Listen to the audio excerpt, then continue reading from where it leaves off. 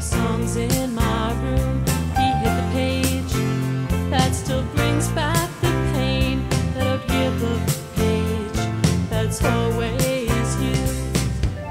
When he saw your inscription, he pressed close to.